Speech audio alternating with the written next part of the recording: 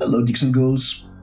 You know what? There are a lot of videos about the best and the most disturbing horror books out there, and depending on who's making those videos, you can get books that are made for hardcore horror fans, gorehounds who only get pleasure out of the tears of normies uh, falling through some of the books they're reading and getting shocked or by totally non gorehound readers who read some books that are very disturbing. So, depending on which video you watch, you may get into some hardcore like The Resurrectionist uh, or don't know, something like Sharp Objects by Gillian Flynn. And don't get me wrong, Gillian Flynn is definitely very disturbing. This is a very disturbing book, but not extreme horror. So I decided that let me make a video about a top 5 of uh, extreme horror books or probably splatterpunk horror books because that's the mainstream uh, extreme horror genre that are very friendly to newcomers. And maybe they'll give you a taste on what you like about extreme horror maybe a litmus test of am I ready to go into extreme horror or should I stay with Stephen King and Dean Koontz? And there's nothing wrong with King or Koontz. There are a lot of wrong with Koontz but let's get not to get we're talking about five books to get you into extreme horror. And book number one, I mean, if we're talking extreme horror or splatterpunk, there is only one author to talk about, and this is Clive Barker. And Clive Barker, if you're not old enough to remember, he used to sell Stephen King numbers of books back in the 90s and the 2000s. Despite being very gory, and he's mostly well known for for Hellbound Heart, which was adapted in the movie Hellraiser, which is it's definitely a horror movie you've heard about. So, what is the Hellbound Heart? The Hellbound Heart is a novella. It is, in my opinion, a, a modern gothic tale about a man who is trying to reach forbidden pleasures and but that's the beginning of the story because his essence uh, like most evil has not died and it returns to haunt those who were close to him. And uh, this book is perfect to begin with extreme horror. It's very short. It's very evocative in its imagery. So there is a lot of blood and gore and uh, torn apart and all those perfectly nice things. It's definitely extreme for its time. Back in the mid 80s, I think it was uh, published in 1986, right? 1986 or 1987. Uh, especially with the way it blurred the lines between sex and violence. But you know what? This movie that he made out of this book it has been so mainstream by today that most of the extreme parts of it are canon to horror or to certain subcultures. Everything extreme about this book is not that extreme anymore. So, definitely a safe read to try your luck with extreme horror. Book number two is one of those books that is almost always in extreme horror book lists for a good reason and thus The Girl Next Door by Jack Ketchum. This book is based on a true crime, so no devils, no boxes that unleash demons from hell, or any of this of the other fantasy crap that we often see in horror. If you're a fan of uh, crime or true crime, uh, it's definitely a book you may want to consider. It is based on the case of uh, Sylvia Likens, and it actually shies away from some of the more extreme aspects of the true case. But don't worry about it, this book is harrowing. It's very disturbing. Uh, there is a lot of description of torture, of uh, sexual abuse, of uh, but it's basically a character study of sorts about cruelty and power and insanity and is told through the eyes of the boy next door who, like the reader, he cannot stop watching something that he knows it's wrong. It's definitely a very disturbing book, a book you should read with caution because uh, it can scar you and it gets to some very dark places. Uh, so definitely a horror book like um, chapter 42 is not a chapter, it's a chapter read. and yeah, there's a lot of uh, atrocities happening in this one. And thinking about this, this is a real case, it makes it even worse. It's also a very character-driven book. It's very um, the the writing is very uh, snappy. It's uh, very easy to read. Uh, and the way it's written it's very effective because it's very simple writing but it manages to convey a lot of what is happening. And it kind of reminds me a bit of Stephen King only you know much leaner in prose.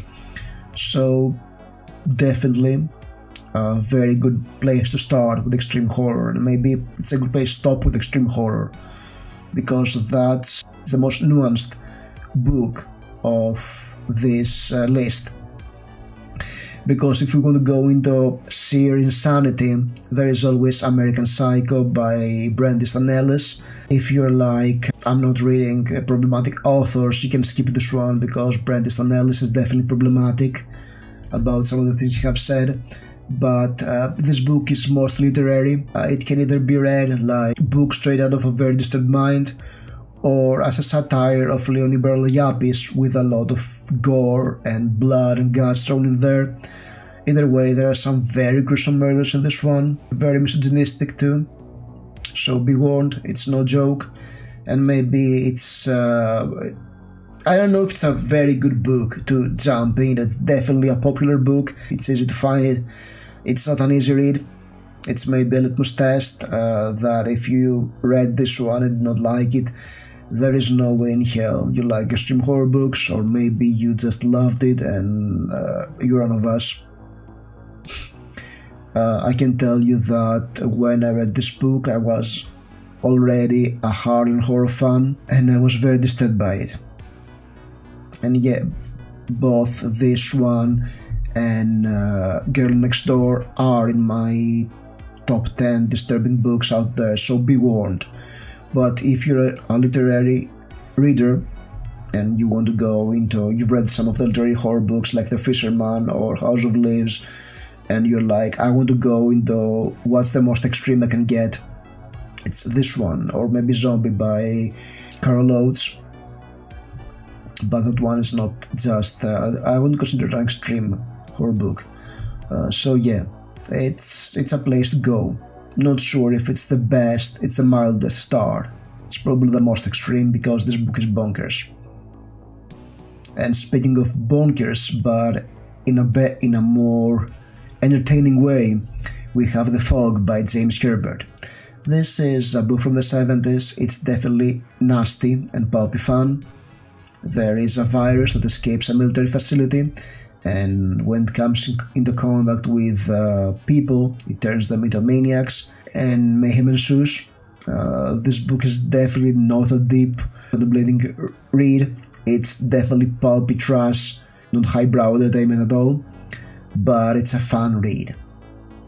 It does not shy away from violence, from the gore, from the sleaziness. It's all a 13 year old boy wants to read and doesn't want his parents to find out about, or a girl. I don't know. Used to, I was a 13 year old boy once, and I can only speak for myself. Uh, but yeah, there's a lot of wonkiness in this one. Uh, definitely, it's trash, but it's very entertaining trash, and it's high quality trash, which is a hard thing to find out there. And it's a solid read by a master of the genre I mean, uh, there were other uh, authors in that era who did the same thing, like Shaun Hutson or uh, Guy. Smith or Richard Laymon, and none of them is considered a master of horror. James Herbert is considered one, so that should tell you something. This book is definitely a very fun read if you want to go if you want to try one of those um, notorious trashy British book from the 70s and the 80s and you won't miss out. It's very entertaining.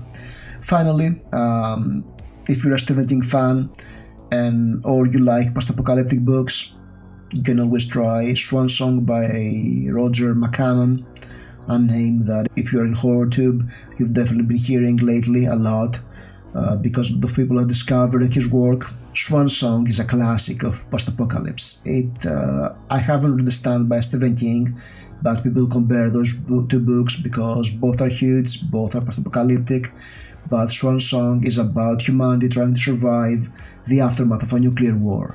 And there are supernatural elements too, because there is the man with the crimson eyes and also one girl, Swan, who holds the hope of restoring the Earth within her. So yeah, there are a lot of tropes of post-apocalypse, a lot of uh, stuff uh, like you know people traveling, trying to survive, um, cannibals, and uh, armies of um, post-apocalyptic Nazis. Uh, all those themes, but at the same time, very on top of it, there is this layer of extreme violence, of gruesomeness.